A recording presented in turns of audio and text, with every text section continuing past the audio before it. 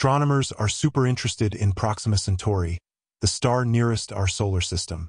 A Scottish astronomer, Robert Innes, found this little red dwarf back in 1915. As part of the Alpha Centauri setup with Alpha Centauri A and B too. Even though it's close, only 4.24 light-years away, you can't see it without a telescope because it's not very bright. But Proxima Centauri is awesome for science, especially because it has Proxima b, a planet orbiting inside the star's livable area. Red dwarfs like Proxima Centauri are smaller, cooler, and live way longer than stars like our Sun. They don't shine as bright, which makes them hard to spot, but their livable areas are closer to the star. For Proxima Centauri, that means a planet orbits about 0.05 astronomical units away. That's peanuts compared to how far Earth is from the Sun. Being that close means Proxima b gets blasted with lots of star activity, like solar flares and radiation, making it way different from Earth. Finding Proxima b was a huge deal for studying planets outside our solar system. Astronomers saw Proxima Centauri wobble a little, caused by the pull of a planet orbiting it. This let them guess the planet's size and how long it takes to orbit. In 2016, the European Southern Observatory said, Yep, Proxima b is real. It was a big step forward in looking for possibly livable planets. Even though we've learned a lot about Proxima b from Earth, it's tough to get clear info. The air messes with the light, making it hard for telescopes to see details on the planet's surface or in its air. Most of what we know, such as its size, distance from the star, and orbit, is based on guesses.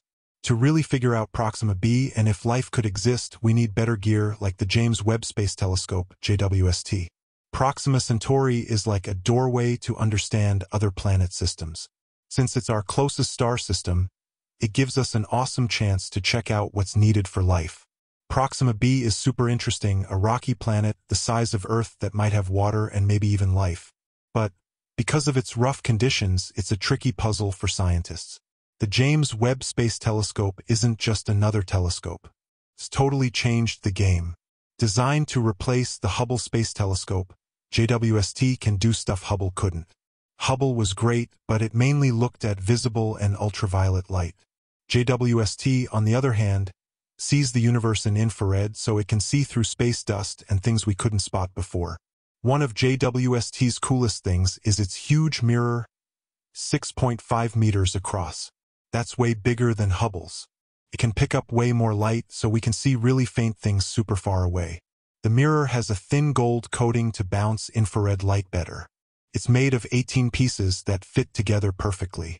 JWST also has a five-layer sunshield that keeps its tools at a steady minus 233 degrees Celsius. Keeping things super cold helps it pick up tiny infrared signals without the telescope's heat messing things up.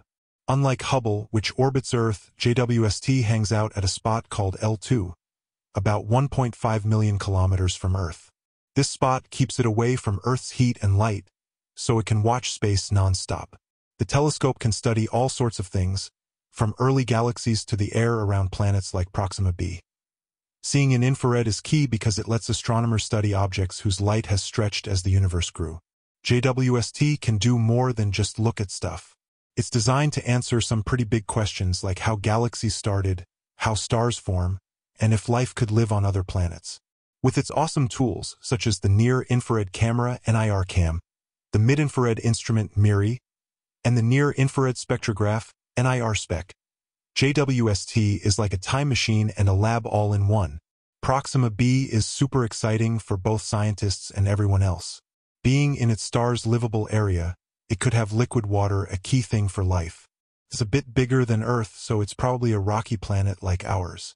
And, since it's only four light-years away, it's a good place to check for life outside our solar system. But Proxima b isn't exactly like Earth. One side always faces its star, so it's always daytime, while the other side is always in the dark. This makes extreme heat differences.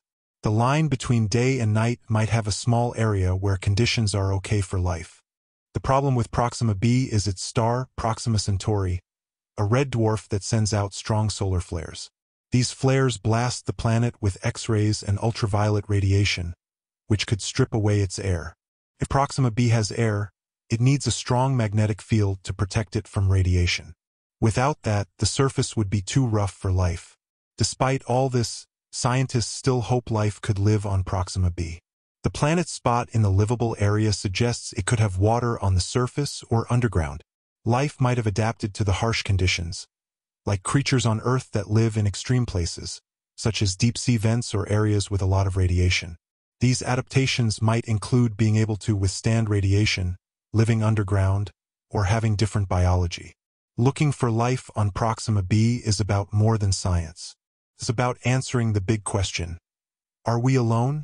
Proxima b is a cool possibility, a rocky, Earth-like world that might have what it needs for life. As our tech gets better, we can learn more about this planet and its secrets. Proxima b is interesting, but its star, Proxima Centauri, makes things tough. Unlike our Sun, Proxima Centauri is a smaller, cooler red dwarf that doesn't shine as bright. Its livable area is much closer, so Proxima b orbits really close, about 20 times closer than Earth to the Sun. One issue is Proxima Centauri's activity, especially its strong solar flares. These flares send out a bunch of X-rays and ultraviolet radiation. Red dwarfs have these flares way more often and stronger than stars like our Sun. For Proxima b, this means it gets hit with high-energy particles constantly, which could strip away its air over time. Without a good magnetic field, any air on Proxima b would get blown away, leaving the surface open to hard radiation. Even if Proxima b keeps some air, the radiation from Proxima Centauri could harm life. High radiation can break molecules apart, stopping complex stuff from forming. Organisms like Deinococcus radiodurans on Earth have ways to fix DNA damage from radiation. Perhaps life on Proxima b could do the same, but it would need crazy radiation resistance and maybe new biology. Interestingly, Proxima b's one-sided nature might help. While one side gets constant radiation, the dark side could be a safe spot. Underground habitats or deep caves could protect life from the worst radiation. Also, if Proxima b has underground oceans, microbial life could thrive in a stable, radiation-free place like the vents on Earth. Despite these issues, scientists still hope Proxima b's crazy environment might show how adaptable life can be. By seeing how creatures might survive in these conditions, we can learn what it takes for a planet to be livable. Proxima b isn't just a possible home for life. It's a natural lab for testing life's limits.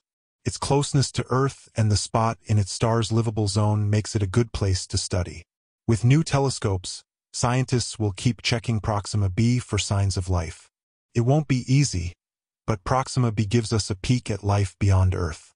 It shows that our quest for knowledge and the search for life on other planets is only just beginning.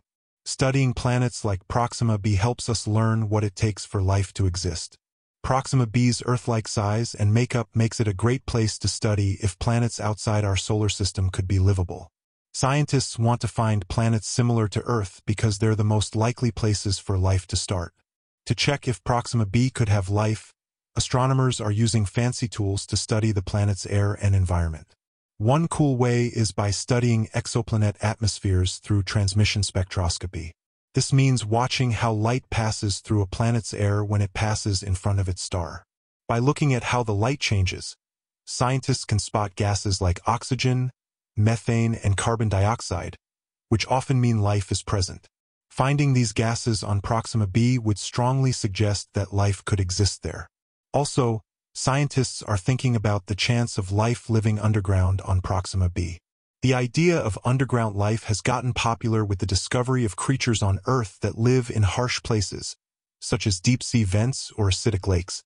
Underground oceans or water could be stable and safe, stopping the harsh radiation and solar flares from reaching life. If Proxima b has water underground, it could mean there's microbial life that has adapted to crazy conditions just like creatures on Earth.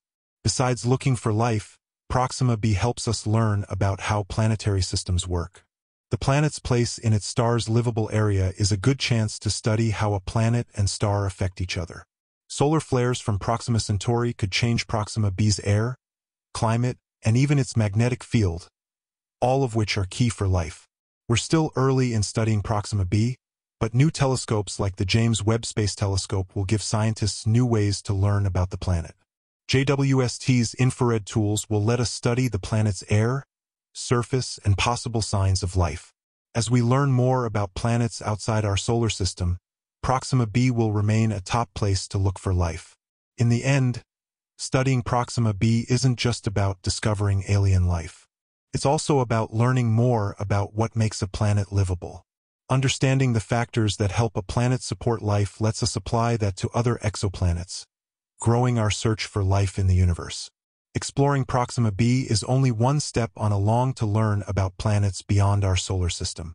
Studying Proxima b also tells us about how planets form and how star systems change. By looking at the relation of Proxima b to its star, Proxima Centauri, astronomers can understand planets that closely orbit red dwarf stars. These stars, the most in our galaxy, have special issues and chances for planets to form and survive. As new missions and tech come out in the next few years, Proxima b will continue to be a measure in looking for livable worlds. Whether life exists there or not, the info from studying Proxima b will make our understanding of the universe richer.